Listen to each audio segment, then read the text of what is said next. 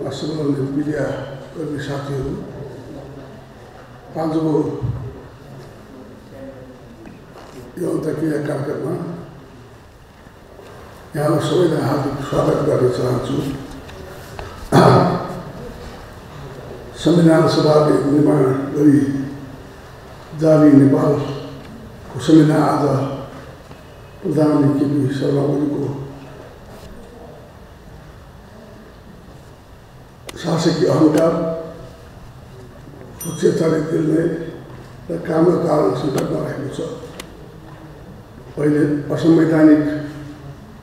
रूपमा दुईपटक प्रदेशसभाको विघटन गर्नुभएको छ। अध्यादेश मार्फत शासन सञ्चालन गर्ने स्वतन्त्र न्यायालय तथा संवैधानिक निकाय लगायतका राज्य समितिमाथि नियन्त्रण गर्ने कोरोना महामारीबाट जनतालाई सुरक्षित तुल्याउनको लागि जिम्मेदार पूर्ण पाइला पर्नेमा पहिलो खोप लगायतका मानिसहरू दोस्रो खोप नपाउने स्थिति। सिर्जना गर्ने बाढी पहिरो डुबान जस्ता प्राकृतिक विपत्ति विपत्तिबाट जनताको सुरक्षाका लागि कुनै तयार नगर्ने जस्ता गैर जिम्मेदार कार्य प्रधानमन्त्रीबाट भएका छन्। राष्ट्रिय हितमा आँच पुग्ने किसिमका कार्य भएका छन्। लोकतान्त्रिक प्रणाली र देशलाई नै सङ्कटतर्फ धकेल्ने कार्य भएको छ। यो चुनौती पार गरेर सहज संवैधानिक राजनीतिक प्रक्रिया मार्गदर्शन हुनु मुलुकमा नवीन सङ्घर्ष जारी छ यो सङ्घर्ष र साझा अपनत्व र कर्तव्यको विषय हो अतः त्यसतर्फ आजको संवाद समीक्षा र छलफल योगदान गर्ने अपेक्षा गरेका छौँ राष्ट्रपति र प्रधानमन्त्रीको मिलोमतोबाट मध्यरातमा असंवैधानिक रूपमा ભેગી ઉપર विघटनले लोकतन्त्र રહી લોકતંત્ર નાથીની ખતરા પર ગરીબો सभा का बहुमत एक सौ उनचास सदस्य को हस्ताक्षर सहित राष्ट्रपति को आह्वान अनुसार हामीले प्रधानमन्त्रीका लागि दावी सहित पेस गरेको आवेदनलाई सोचेका किसिमले अस्वीकार गर्दै लोकतान्त्रिक मूल्य र मान्यतामाथि नै प्रहार गरिरहेको छ तसर्थ हामीले असंवैधानिक तसर्थ हामीले संवैधानिक अधिकार र लोकतन्त्रको लागि सर्वोच्च अदालतमा रिट आवेदन लिएका छौँ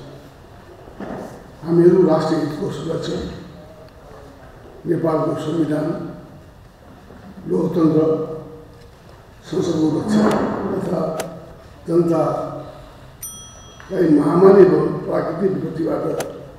जोगाउने उद्देश्यका साथ, पाँच राजनीतिक दलहरूको संयुक्त मोर्चाका साथ अग्रसर छौँ सरकारबाट भएका कतिपय संविधान र कानुनका अलोकतान्त्रिक कार्यहरू अदालतको जिम्मेबाट रोकेका छन् हामीले राष्ट्रिय स्वार्थ जनताको हितलाई सर्वोपरि राख्दै संयुक्त लोकतान्त्रिक गणतन्त्रको कार्यान्वयन सामाजिक न्याय समा समावेशी लोकतन्त्र कानुनी शासन र समृद्धिलाई साझा कर्तव्यको रूपमा लिएका छौँ देशमा सिर्जना गरिएको राजनीतिक अस्थिरता तथा आंदोलन समाप्त गरी नेपाली जनताको लामो र कठोर सङ्घर्ष त्याग र बलिदानबाट प्राप्त उपलब्धिको रक्षा गर्दै हामीहरू राजनीतिक र कानुनी संघर्षका विविध कार्यक्रममा साथ क्रियाशील छौँ यस सन्दर्भमा आवश्यक परेमा हामी जनपरिचालनको दिशामा समेत अगाडि बढ्नेछौँ हामी सबै मित्र राष्ट्र अन्तर्राष्ट्रिय समुदायसँग नेपालको संविधानमा उल्लेखित राष्ट्रिय हितमा आधारित स्वतन्त्र परास्कृतिको आधारमा सुमधुर सम्बन्ध कायम गर्न चाहन्छु।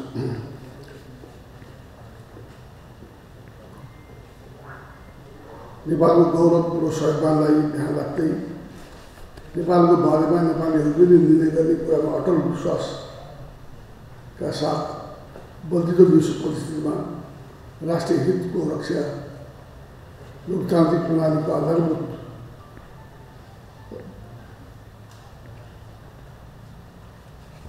मान्यताबाट हुनुपर्छ भन्ने मान्यता राख्दछु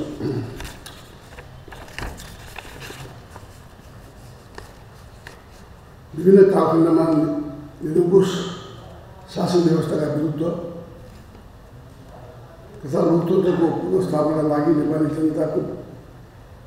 आन्दोलनबाट राज्यको चौथो अङ्गको रूपमा स्थापित नेपाली संसार जगतले महत्त्वपूर्ण योगदान गर्दै आएको छ लोकतन्त्र मानवाधिकार र स्वतन्त्रताको रक्षाका लागि पहलको पहलदारको रूपमा भूमिका निर्वाह गरिरहेका छौँ गरिरहेको छ नेपाली संसार जगतको निर्भीक सक्रियताले सङ्घीय लोकतान्त्रिक गणतन्त्र माथिको प्रहार खतरातर्फ चिन्ह सार्थक रूपमा पुर्याउँदै आएको छ यसको लागि हामीले सदैव उच्च मूल्याङ्कन गरेका छौँ आजको जटिल परिस्थितिमा पनि संविधान लोकतन्त्र न्यायको पक्षमा अविचलित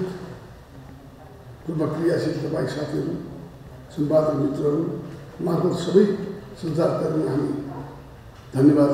र सम्मान व्यक्त गर्दछौँ। निरङ्कुशता विरुद्ध लोकतन्त्र पक्षमा उठौँ। सबै किसिमका षड्यन्त्र चिर्दै संविधान रक्षामा जुटौँ भन्ने आह्वानका साथ राजनीतिक दलहरू सञ्चार माध्यम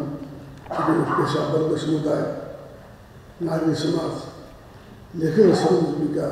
बिच बृहत्तर सहकारी आजको आवश्यकता भएको छ। यही बृहत्तर सहकारीको एउटा पाइपको रूपमा आज तपाईँहरूसँग अन्तर्क्रिया र संवादमा हामी प्रवेश गरेका छौँ।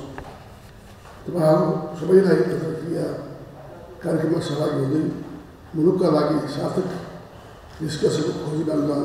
गर्न हामी हार्दिक आग्रह गर्दछौँ धन्यवाद जय नेपाल